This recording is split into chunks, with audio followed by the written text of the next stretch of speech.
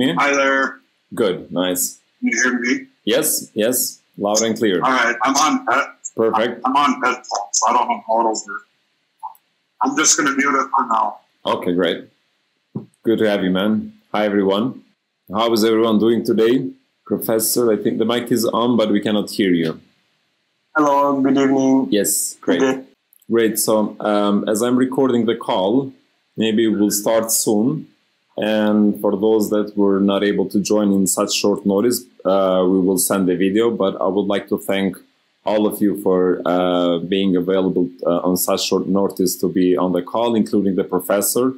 And uh, before I give the word to professor to talk about the checker, I would really like to thank him for his commitment and effort for the last couple of months and weeks and let alone last uh, week he was supposed to be on holiday with his kids and family but he was constantly working on the checker. Um, and we were in touch uh, with the professor while he was there and working on the checker. So i would let him now alone speak about the almighty checker that we had been waiting for some time. And professor will take us uh, uh, through the process. Thank you professor. Thank you very much, Nick, for introducing.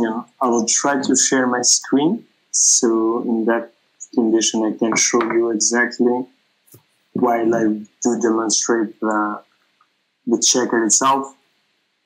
Can you just, if you confirm that you see my screen now, yes can you see my screen? yes yes I cannot hear anyone confirming that you can see my Um, yes, can you hear me, Professor? We can see the screen.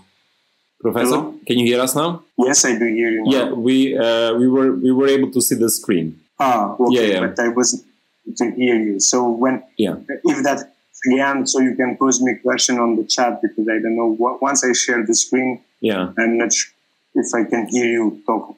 yeah, yeah. Perfect. Yeah, Okay, now, now I can hear you. Okay, so great. yeah, again, uh, thank you very much for joining on this very short notice, and uh, I am very glad to have this opportunity to share the work done so far on the token checker, no shit checker as we call it for today.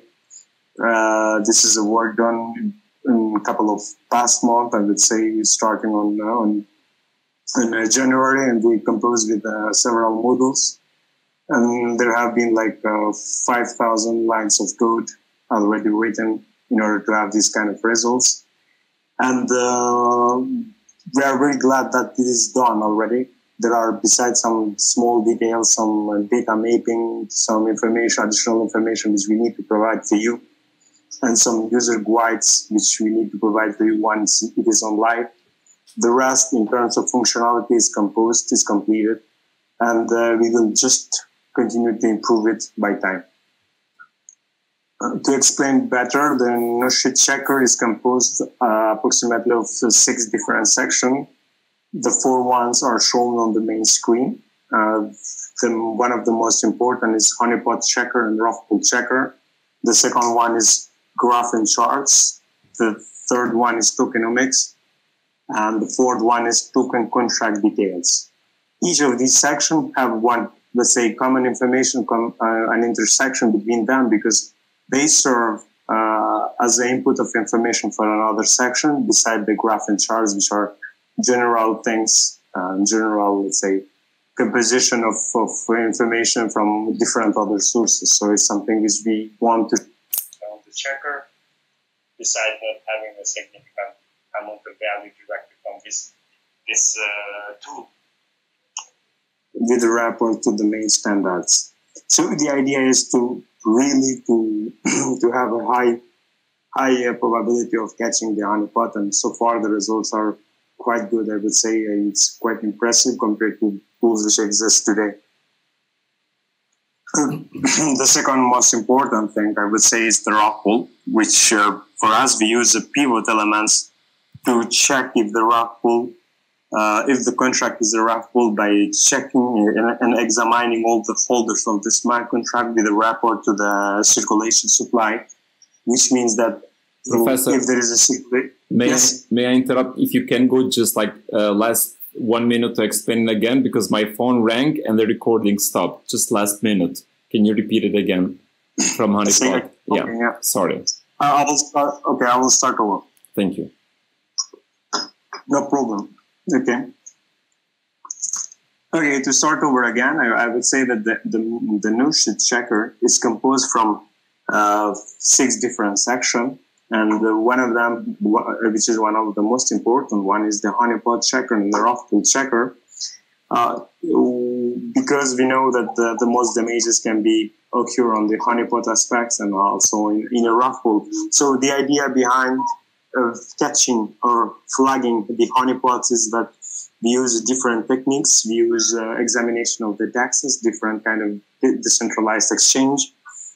Also, we use uh, several and powerful techniques to check the function revert and to check the smart contract function with a report to the standard functions. So that is how we catch somehow the honeypot, and this is how we qualify the smart contract of honeypot once the, the model qualified based on this data.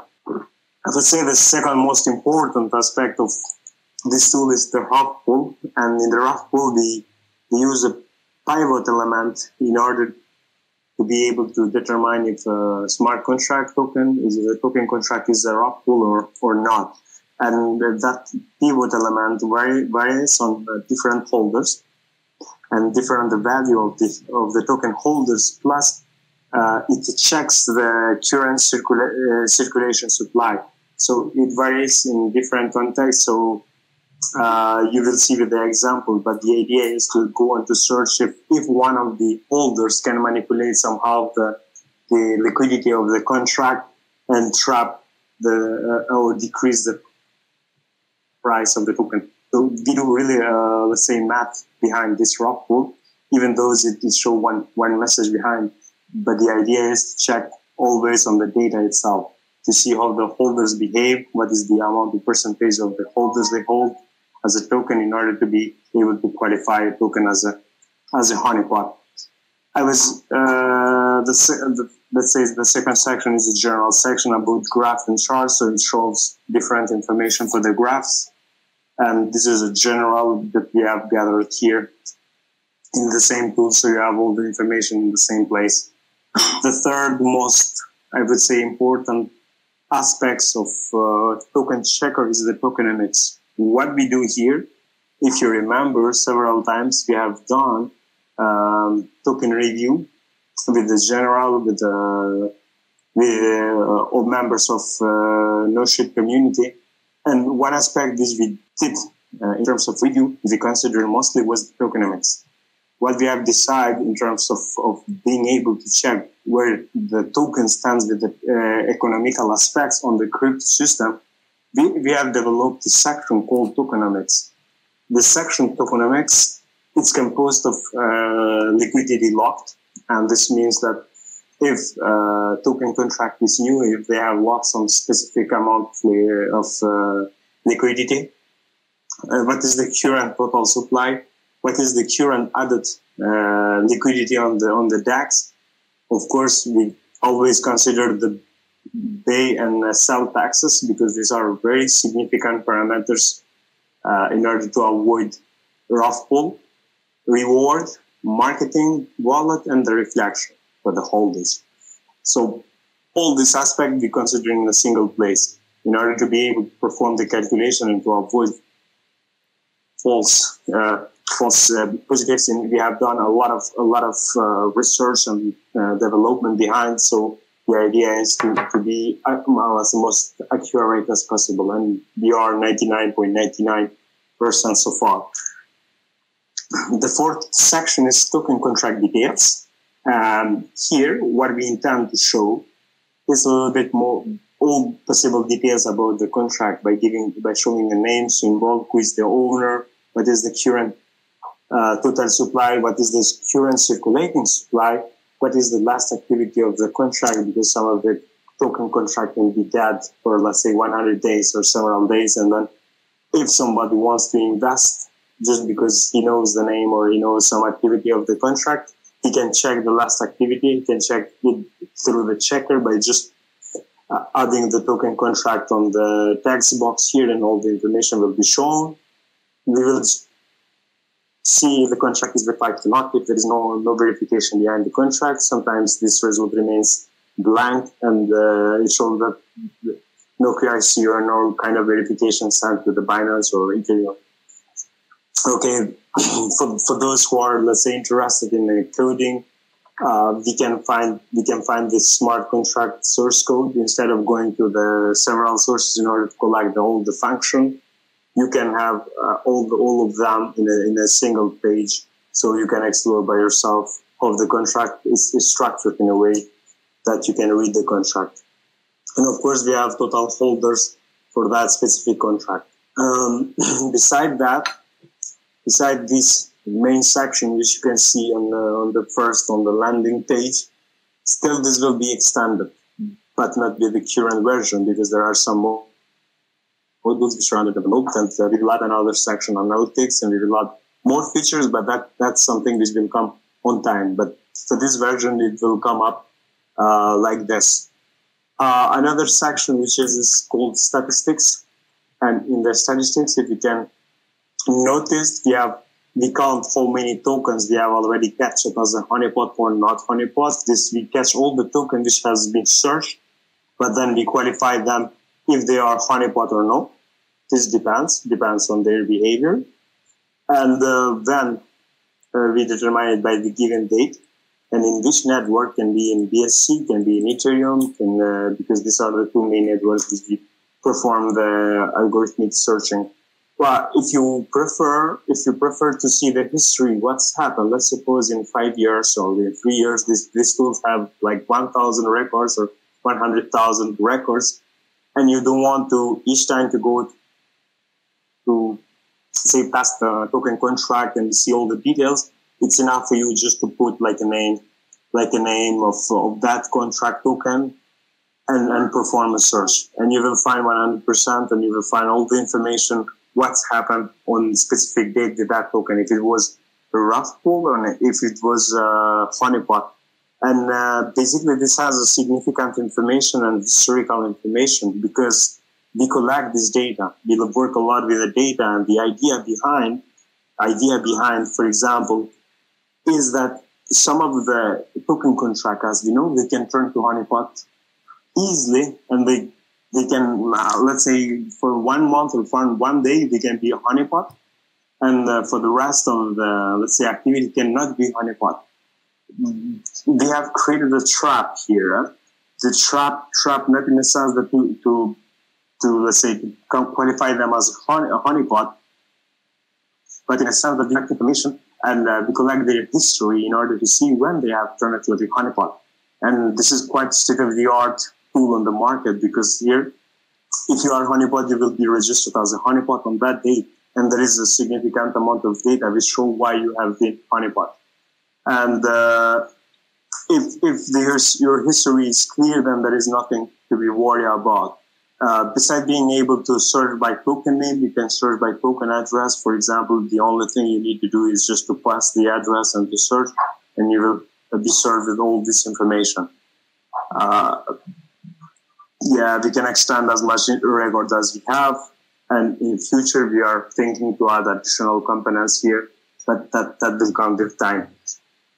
Last but not least, we have the token monitoring. And uh, for this, I need information, I need data, which I will demonstrate.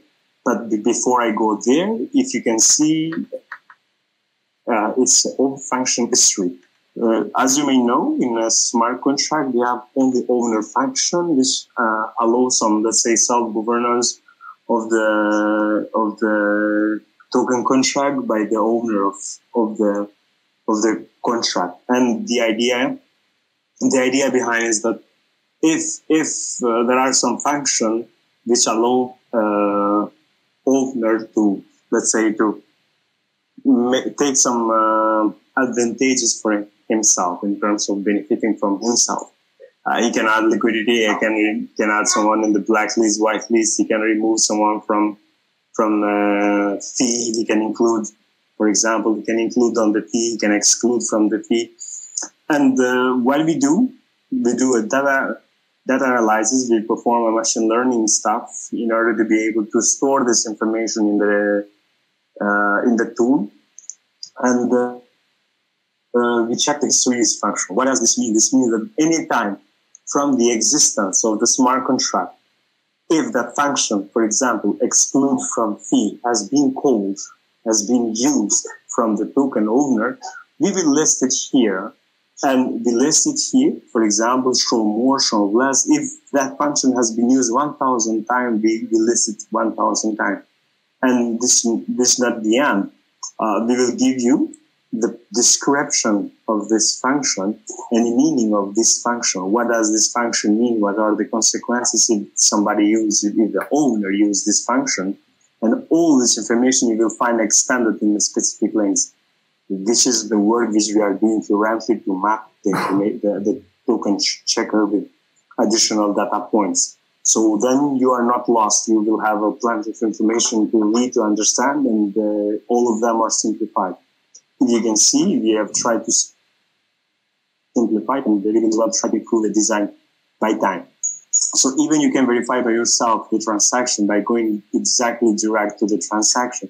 So so you know you know exactly that you are you are on the transaction and you know exactly that that transaction happened on on a specific data. This is just a random transaction, so you can basically see why and who who was excluded from from uh, that from that uh, token owner from the fee. Okay, so basically this is, this is these are the current functionalities, and uh, it's not just for the excluded for the fee, but if you have a smart contract code for any any uh, only owner function, you will find the history here. Of course, if the, the if the function is not let's say used then there is no history, there is no transaction for that. But as you can see, any time when it is used, yeah, we have a link of transaction here. For example, we have a blacklist here, which is used once, and we can easily verify who has been blacklisted and uh, all these aspects we can monitor at that time. Okay, so it's, it's, it's the time for the demonstration. For example, the only thing you need to do is to pass the token contract address here. And you push the button, no shit check. And you wait. You wait because we, we do call and we do use like uh, 30, 30 APIs, 30 data points in order to be able to gather all this information, plus the calculation which we do for each section, which in total the, it's uh, the average time of receiving the information is 25 to 30 seconds today without any further optimization, which is much faster than any tool on the market compared to the information which we provide. anyway, as I mentioned, so if the contract is honeypot, the token, uh, the token is honeypot. Of course, we will add and adapt additional and better, let's say more fancy messages here. We will exactly give uh, the right, uh, let's say, conclusion why and how it is honeypot. And beside that, as I mentioned, we have this additional information if I want to see why this contract is honeypot and in general to understand how the honeypot works in a sense that how to protect yourself from the honeypot. All this information you will provide in this link. And uh, similarly, it is it is a rug pull because it contains an address, a token address, which has 37.7 uh, percent of the which can drain the uh, the liquidity, which means that we use and we check what is the current added liquidity, which is very low compared to the total supply, and we check if if that percentage of amount, for example, is 37, the first one, but as you can see, there is another one with 30, there is another one with 17 for example, this can drain of liquidity as this one as well. And we don't say that it's qualified, but it contains an address and which is really, really high potential to be erupted. Oh, besides that, is, this is a honeypot and you don't need to go further to analyze. Of course, there is no nothing to see on, on the tax itself. Of course, uh, as I mentioned, the token contract details, we have the uh, main network, BSC main network, the name. Uh, for example, if there is no verification of the contract, there is there is no return as a message here. So We see as well the last activity, which has been on uh, on the March 2022. We see circulation supply, so they have put everything there. So it's it's obvious that this contract is is. Okay. then uh, uh, Gold Digger was the name. Here we can find Gold Digger on the on the address. So basically, this is something which I have used, but but you can uh, basically the last honeypot catch will be listed the first one here. So it's uh, uh, ascending. Okay, this is this is the, the, the situation. Okay, we can have another example. For example, when they want to manipulate the text and we flag the honeypot itself and the ruffle itself. So if, if I want to go to, to the another smart contract, this is like quite suspicious. It might uh, not necessarily be the honeypot, but it has perhaps, perhaps a huge potential in the selling and the buying tax, which is a, a quite quite a trap trap for you for us as a user, for example, especially on the selling tax. From the perspective of coding, of the perspective of DEX and the perspective of the smart contract is not a honeypot, but we qualify it according to the tax. Why we qualify, for example, because we, we need to we will adapt this message to say that okay, this seems to be a honeypot. This can change any time, but we consider it as a honeypot as long as the tax of the selling tax is extremely high, which means you are trapped in it which means that once you have bought, bought it, you are not able to sell it, or whenever you sell, you lose uh, majority of of uh, of your tokens. So, so this is kind of honeypot and rug pull itself in the same sense. so we consider always what is the add liquidity currently on the tax. So these are the information which we provide.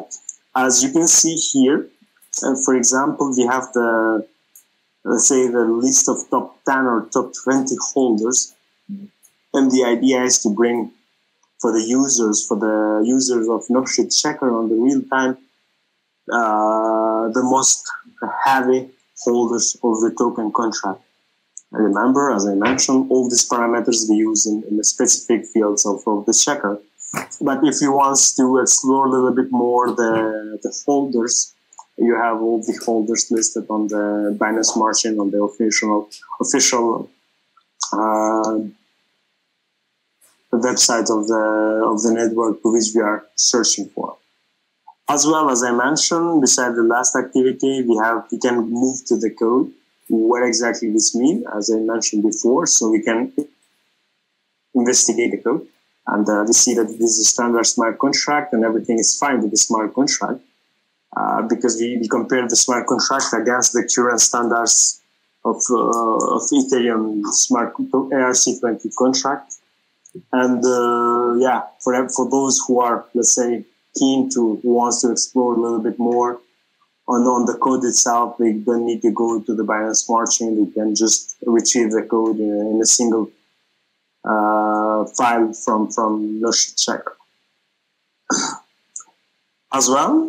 We should we see as you can see for different smart contracts, they have a different movement. They have different history uh, on in terms of monitoring. Uh, and the monitoring means that they check whenever this owner only uh, function has been called. And because, as I mentioned, these have the most significant uh, value in terms of giving some uh, governance to the token owners uh, in terms of being able to benefit or being able to exclude someone from the token contract and to change some specific fees. As another case, so we have as well the cases when the uh, the smart contract uh, interface, or as it's called ABI, is not accessible. And we have the case when the transaction is reverted, and this is automatically. This is the case, for example, um, this is the case where uh, you you don't know exactly what the smart contract itself is doing. Huh? It sounds like you, you, you cannot you are not able to see the function. You are not able to see uh, how the smart contract is designed in, in a way that you really can uh, know exactly which function what will do. As you can see, the smart contract is not accessible in a sense that it is purely honeypot, purely uh. And the idea behind this, is you cannot access the interface and all the, let's say, liquidity on different dexes is almost, uh, not is almost, is zero. So you cannot make exchange, you cannot, you can buy, but then you cannot sell it. It's there forever. So basically this, this is the way how you can, how you can test any smart contract and and besides being able to, to retrieve this information through the, the checker, they, they give you enough links in order to verify this information and to go deeper to understand this information as well. All right. So this is it. If you have any question, if you want to particular detail any, any information, let me know, please. Thank you, Professor. Yeah, one detail, but we, we are uh, almost done. We are just installing it on the real server. Uh, we are making the last test. We are doing the security measures. We are trying to get at a point that I mentioned. So it, for you as a community, you will be able to test it very soon. So it's just a matter of some details which we are not willing to rush before we map everything. So it's it's there. It's, it's there and it's for you to test it very soon. I think that was my one question. We do have someone like in IT security or something that's just double checking the site to make sure it's secure. I think you kind of answered that just now. Yes, we have. We have. Uh, this is what we're doing now. Indeed, uh, we, are, we are taking all the measures of the security in order to, to avoid any let's say, misinforming or misunderstanding of this information if somebody can or try to manipulate this information. So we are taking all the measures in order to, uh, in a standardized way, uh, by considering uh, the security measures to deploy this application. So we have services dealing with the security aspects. And uh, as you know, the security aspects always takes time because you have to consider one layer, then go to another layer, but as a tool, it is there. It's just matter of mapping. Uh, it's matter of uh, putting on the server, testing from different uh, point of view. As well, we are. I am running the stress test, which means that we we are expecting to have like plenty of deny of services and to see how we can, let's say, make it redundant in two, two different server in order to avoid the, the deny of services. This is just a precaution which, I, yeah, which we are thinking to take. Awesome. That sounds great. Any other question or statement around the checker, Professor? Thank you for taking us through the all details. And let's see if somebody else has any question or comment. Uh, for, for me, one detail, I think Postman, Postman, he contacted me early this evening. Postman, are you there? Yeah, I'm here. I'm driving. No. Oh yeah, okay. Because I think it was like uh, I didn't understand your message. Indeed, uh, that's why I could not reply. But then I, I took uh, some information from the community that it was you, like a member of Noshi community, who contacted me. So, do you have any question? Do you want any particular section to be understood, or? No, it sounds, sounds like it's going to be pretty simple to operate once you get it on online that's that's you know the simple thing take take the most time. And then we try to simplify it in a sense that you the only thing you need to do is to push this no shit check button and the rest we will do the rest. Thanks for all your hard work. Yeah i would like to thank professor because it's really for me i mean it's my first time hearing like all through the details but i heard it as well last week when we had a call with randy who is also a programmer and is working on the back end of the game and seeing him being so excited while professor was taking us through the checker for me it was like okay like you know he comes from similar field and like him being that excited i can only imagine what it can do. And uh, for me i can explain it in, in simple word that this really goes well with our mission that which is ai based ai based education platform that tries to make the world less shitter and more uh, uh, comprehensible to like people who are coming in this field and I think No Checker really states that and, and helps people to avoid possible scams and, and do and take the right investment. And I'm really happy and proud to be part of No Noshit for what Professor has done so far. And I can only imagine how it's going to be seen by others once this is launched and, and, and properly used. Yeah, one, another aspect which uh, I, I, want to mention here is that this is a community tool, so everyone can contribute on even now and in the future. Uh, the idea with the contribution means that, uh, of course, then the market might change, but we will adapt because we have created a model and the architecture of the ch- uh, Noshit checker uh, works in a sense that it, it is quite adaptable with the new changes. So there is no static; it's all dynamic, and we can consider any changes. So you, as a community, can raise, let's say, a point to consider, and be adapt it on the checker. As you can see, it in, in, includes measure points which today we need uh, to consider on, on the on the scamming market on the scamming market. But then if something changes, we can adapt it quite easy because we have designed the architecture this tool to be like a really easy to integrate new models, new libraries, new let's say designs, and of course the user interface can be fully adaptable. Thank you again, Professor. Um, would anyone like to, to speak or say something maybe before we call it a night? Hey, this is Seth. Uh, yeah, I just wanted to say this looks great. I mean, I'm, I think uh, the space really needs something like this, and you know, it, it should should go a long way towards uh, towards helping helping new new users and even um, kind of veteran users in the space protect themselves. Um, you know, one one thing I was wondering, um, will there be a way for say for for one user to to save tokens that they're really interested in, um, kind of like in a in a watch list type thing, where maybe you know it, we do a search and in the moment it's not uh, considered a rug pull or honeypot, but maybe we want to you know check back uh, later and see if anything's changed and kind of have a, have a few configurable tokens that we want to keep an eye on. Is is that something that's that we're going to be able to do? Well, uh, that, that's definitely something which you see this icon monitoring token. Uh, this is something which is meant somehow to be on, on that sense. Besides now, it has a limit.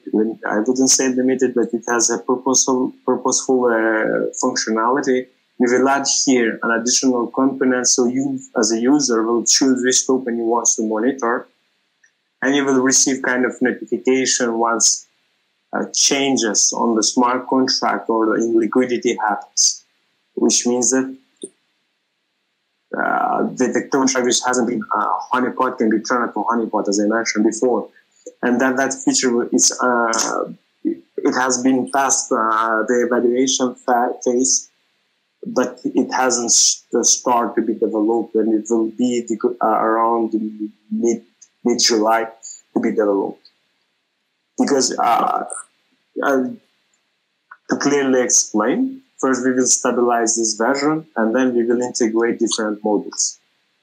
This is the okay. This is why I mentioned this is a community tools and this idea. Whenever we have some kind of uh, good ideas and we try to find uh, human resources to help us on this, uh, we will definitely do that because we, we, we want this tool to be used from the community and to have a general purpose which means that we consider all the ideas you have. Uh, but we don't like say we don't personalize the idea for a specific user. We try to maintain a community level of the usability of this tool. So thank for reminding us uh, as well this very good ideas. Okay, great. Sounds good. Yeah, like I was saying, I'm very excited to be able to uh, test it out myself and start using it. So yeah, thank you. Hey guys, I got a quick question for you. Um, this checker is awesome looking. I'm guessing this is the entry level that everybody can look at. And is there going to be levels where people have to pay or sign up for something? Uh, yes, this basic functionality there is now no need to pay uh, because we this is a community tool as I mentioned, and as uh, my uh, colleagues from Noshit has already said several times before but as well we are thinking some additional features which uh, someone from a different community or from Noshit community wants to have this feature in their own, let's say, personalized account, uh, because you can uh, make like a separate separated section for for being uh, personalized, and uh, there are some functionalities which we are thinking that we can put on. A, uh, on a subscription with a small amount just to help us to maintain the, the core of, of this application because then once we expanded with the new features, features, we need them to add additional resources, computing resources, human resources to maintain it, and then we perhaps we might need it in order to maintain the tool. But we don't, as you know, this is community tool, and we want really to to be used from the community instead. All right, thank you very much. Looks great. Thank you. Um, any anybody else? Any other comments before we we will call it tonight? Uh, remember again, the call is being uh, recorded, um, audio and video. It will have some watermarks, but I think it's everything is seeable, just like the last one. So then, if no one has any comments, or I think uh, most of you, I hope you're excited about what's coming. And I would like to thank again the professor um, about his time and his work um, that he has done to collect all this data